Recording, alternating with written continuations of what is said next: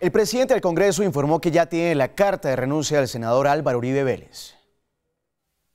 A través de este comunicado, el presidente del Senado, Ernesto Macías, informó. En los próximos días, una vez cumpla su incapacidad médica, daremos el trámite correspondiente. La carta de renuncia se radicará a la mesa directiva el 3 de agosto, que es el día que Uribe cumple su incapacidad después de que sufriera un accidente al caer de un caballo en su finca. El próximo lunes, el senador del Centro Democrático dará declaraciones a los medios de comunicación desde Río Negro, Antioquia. La tramoya, el montaje judicial contra el presidente Uribe, que tiene nombres propios, tres dirigentes, el magistrado Barceló, el periodista Coronel y el senador Cepeda, tiene dos objetivos. El primero, sacar de la política al presidente Uribe y el segundo, vengarse, la venganza de las FARC. Obviamente que si el presidente Uribe renuncia y le aceptamos la renuncia, ellos han obtenido el primer triunfo. El máximo líder del Centro Democrático se encuentra vinculado en un proceso en la Corte Suprema de Justicia.